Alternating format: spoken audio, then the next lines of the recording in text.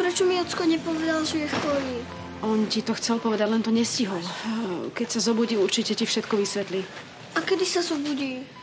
A vieš čo, ešte ho necháme chvíľku spinkať, aby si oddychol. Ale zobudí sa však. Sľubujem.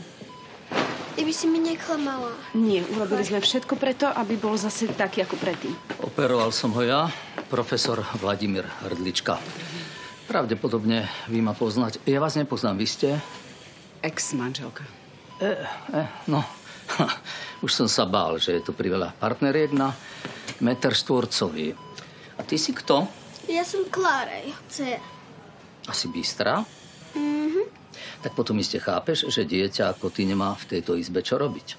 Ale mám tu čo robiť. Chcem byť so svojím ockom, až kým sa neprebudí. A ja chcem, aby si sa naučila rešpektovať starších. Tvoj ocko teraz potrebuje pokoj. A nie rozmaznané dieťa, ktoré papuluje doktorom. Prosím, rozhodne nie je rozmaznaná. Chce byť pri svojom otcovi, to je snaď prirodzené. Nech dôveruje človeku, ktorý ho operoval. Informujte príbuzných o stave pacienta a potom von. A my dvaja sa ešte porozprávame. Okay.